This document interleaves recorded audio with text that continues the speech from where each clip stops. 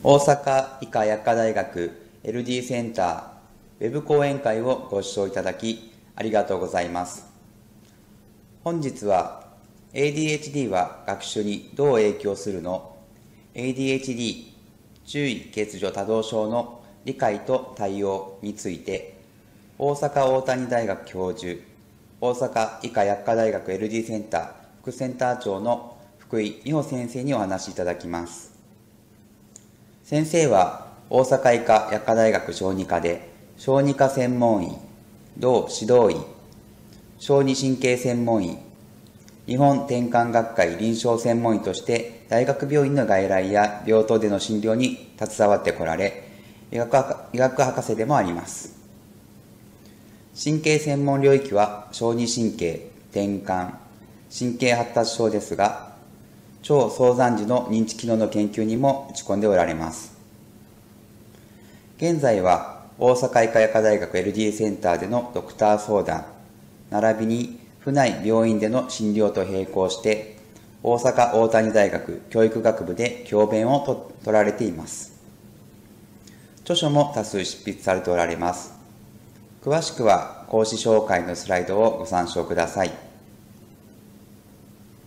それでは先生、本日の講演のポイントを教えていただけますか？はい、えー、ADHD の疾患の説明と ADHD と学習の関係について、えー、お話をさせていただいています。2年前に一度あの作っている、えー、動画の内容の、えー、更新した形になります。治療について少し加えたのと症例も新しいものを提示しています、え、皆さんの今後の診療ですとか、えー、お仕事の中でお役に立てればと思いますありがとうございますそれでは先生、講演をよろしくお願いいたします。皆さん、こんにちは。大阪大谷大学教育学部大阪医科薬科大学小児科学教室の福井です。今回は ADHD の理解と学習への影響という題でお話をさせていただきます。本日の講演内容は以下のようになります。1本目の動画で ADHD について2本目の動画で ADHD と学習の関係についてお話ししていきますまず症状が成人期まで持続するということも言われています定義に示しましたように ADHD には3つのタイプがあります。不注意優勢型多動衝動型そしてこれら両方の特徴を持った混合型の3タイプです。ADHD の診断には具体的な症状のほかにこれら4つの項目を満たす必要があります。対する誤った対応や対人トラブルの時にも、えー、周囲がご本人の特徴を理解していないと、まあ、唐突にいろんなことを言ったり、まあ、急に行動して手が出たりっていうことが ADHD のお子さんなんかはありますので、えー、その場合に、えー、無理解があればどんどん叱責をされてご本人たちは自己肯定感がどんどん下がっていくということにつながります。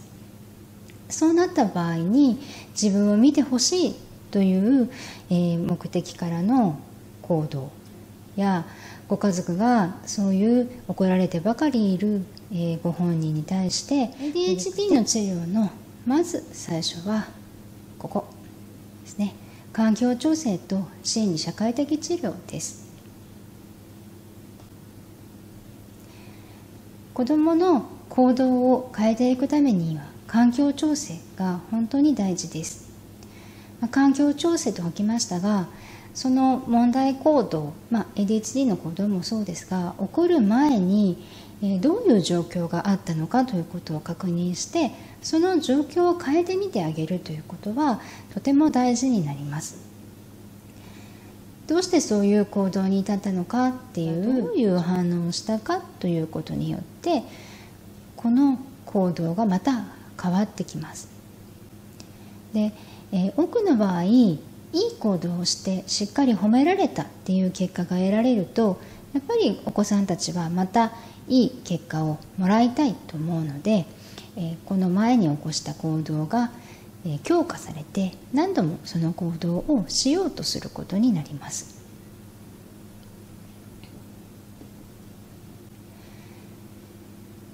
でもこの行動自体が、まあ、そういう褒めれたものでない時ですね、えー、そういう時にここをどうするかが、まあ、ADHD だから学習ができないということでは基本的にはありません。ADHD の特性が二次的に学習に影響を及ぼすということです。そして、えー、それは程度の差はありますが必発すると思っています、まあ、実際にですねえー、診断の、え、中での重要な条件として、えー、1本目の動画の時にお話ししましたように、まあ、社会的に学業や仕事に著しい困難をきたすっていう項目が実際にあります。提供する情報の整理注意喚起手順の確認です。で、えーと、その他あのもう少し細かい内容ですね。えー、はあのこちらのサイトにも載っていますのでご参考にもしてください。でまず情報の整理についてですね、えーまあ、あの環境調整の時にもお話ししたように情報刺激を減らしてあげることは大事です。視覚聴覚ともにです、えー、まず、えー、掲示物の整理ですね。あのいろんなものがあの同時にたくさん前に貼られてたりするともうそれこそ何をいつそれはその子の自立に影響を与えることにもなっていきます。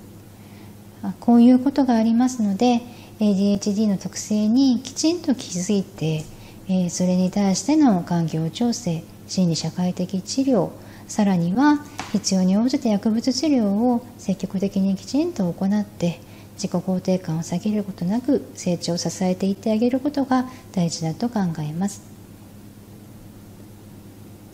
お話は以上になります。ありがとうございました。